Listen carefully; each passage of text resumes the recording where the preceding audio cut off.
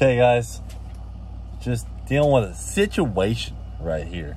And this is one of those deals where you guys can help us kind of guide the content of the channel. And uh, just given the circumstances of everything going on right now, we're in a little bit of a bind for what we want to do for race week, which is a great problem to have. And we're trying to decide if we take, the plan is for sure to take two cars and then hopefully a C8. And Cooper will drive the C8. I'll drive one of the other cars. James will drive one of the other cars. But here's where we're at. We got uh, Leroy is broken, but will be fixed in time. Ruby is broken, which I'm going to show you guys in an upcoming video. Both of which can 100% be repaired in time for race week. And the cars could probably make the week.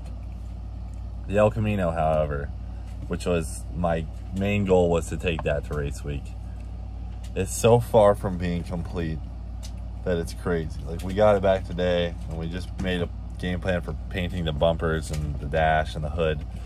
And I mean, we need headlights, taillights, door handles, windows back in the car, door panels back in the car. That I mean, that's just the start of it.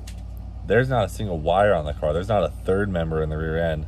There's not an engine in the car. Texas Speed will can and will have an engine done. Fuel lines, brake lines, fuel system, pumps, yeah. So seat belts. We have two options. We would have to drop everything we want, everything we are doing and want to do tomorrow and go full blown El Camino and then have it done probably the day before we leave for race week untested in a potentially overpowered car, you know, for its own good. It's getting massive turbos. I just don't see it being realistic to try and do that at this point. I like a week ago that was my plan was to just go full rip El Camino. But after this whole week and I feel like basically what I'd be doing then is just forcing El Camino content down your guys' throat when we're not really ready for it, right? We'd have to drop the seven second quest with Ruby, go full El Camino. We'd have to drop this special Crown Vic project that's going on in the shop that you guys will see tomorrow. Yeah, tomorrow. Oh, dude, it sucks because it's just looking more and more like the El Camino can't go on race week. So. Kind of unreasonable to push it to go on race week. Yeah. A car like that needs so much testing. I know. But I'm bummed. And a so lot of dead ass fab work, which takes time. Wanted to talk to you guys and see what opinions you had on it. I mean, would it be best to just race the car a couple months, take it to drag week potentially, or take it to LS Fest, race it there, make sure it's good, dial it in. You know, there's always another race week. And it's not like you have everything that it needs sitting in a box. It just needs yeah, to go on. That's true. Like we don't have anything. Yeah, we'd have to definitely start overnight and stuff. We just have the trans. Yeah.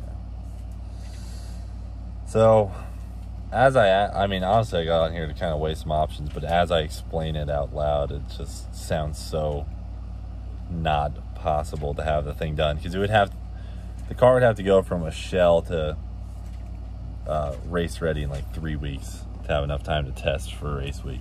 And I Whereas the class that it fits in is like a very fast class. Yeah, I mean, it, it, it puts us in the unlimited class, which is the fastest class in the thing. And who knows what it'll even weigh and if it'll make those rules. Plus, we have to certify the chassis through the NHRA in that time. So it's like, dude, uh, I think we've put ourselves in a position where we can't do it. And say we did drop everything and do try and get the El Camino even close, we're then at the point where Ruby and Leroy are just completely neglected until that point where we need to take one of them too. And then we have two cars that aren't ready. So we could have two very ready race cars or one potential disaster and one unready Corvette. So think boys, what we're gonna have to do is finish the El Camino the month after race week. you know, or even just keep kind of doing what we've been doing, and working on it here and there, which has been it's getting it's gotten a lot of progress now. So you'll see it in the, the Crown Vic video. But I don't know, dude. Seems seems out loud, right? Like we gotta just push it. I mean, it, is it possible? Yes. Is it reasonable? No. No. yeah, true. like so how many weekends and nights in the next month do you want to spend yeah, on that thing? I mean, you have the ability to? Spend It's. it? I think even if we did spend every weekend and night on it, it still would be like an unprepared mess, which is fun. I love a good unprepared mess. I'm all about being a part of shit shows, but this is like 1300 mile challenge, and what if we, you know, tear the car up or freaking, you know, worse, James gets hurt because there's a loose bolt on the things you know unchecked four link or rush. something. It's like Fuel lines get not tightened. yeah, yeah. Oil. So if we want the car to be right, we have to wait. That's what it's come down to. So I guess I'm putting this video up then at this point to announce that we're probably moving the El Camino back. I guess weigh your opinions in the comments below. Let us know what you think. It's just kind of one of those things where we had to. Honestly, we just walked out there and looked at it, and the reality set in that there's no, there's not even a damn taillight in the car. There's not even a damn side marker. Like, where do I even get an El Camino side marker? Because ours are old and beat up on the other cars. It's like, third member. Drive shaft has to be made.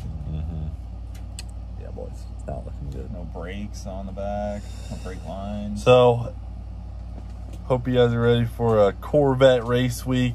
It is what it is. One of those things. Like I am definitely bummed because I wanted the Elko to be ready for race week this year, and it seemed like we had all the time in the world. But we just have so much other fun stuff too that we have to do. Because what's the point of you know doing what we do if we're not also doing the stuff we enjoy? Not that we don't enjoy working on the El Camino, but you know we love like I would probably find more enjoyment in seeing Leroy have a super successful race week. And sometimes I guess I'm just you get a little blindsided by that when you got something new and shiny in front of you. So that's the reality of it, folks. It's got a solid couple months of work to be the car we want it to be. Like, remember Tom Bailey's car in that video? That thing had freaking every switch in that car worked. There was not one thing in that car that Tom Bailey was like, oh, that doesn't work. I could get an- eh, Leroy and Ruby and tell you five things that don't work. Wheel speed sensors don't work. Ruby's IAT sensor doesn't work. So the list, the list would go long. His, we don't have drive shaft sensors. We don't have rear ends, like rear wheel speed. Uh, we've got problems with the parachute on Ruby. You also have to put like a roof style system on Leroy, like some kind of like Yeah, top targa top. yeah. Ruby's windows don't work right now. Yeah. So much crap. Ruby's pretty heavy for what it could Yeah, be. we could ditch a bunch of weight out of her. Yeah. So Battery needs to be in the back of Ruby. yeah, I think the plan then would be we finish the C7, we get that thing out out the door, and then we just go full blown Ruby Leroy till we're fully prepared that they are the cars we believe they can go to race week and have a successful rip. That'd be Seems like the only reasonable route. and then watch this freaking C8 is gonna break. it's gonna snap an axle. I mean, it is going to break. Dude, that's scary. Have you guys seen C8s breaking axles when they go drag racing? Damn.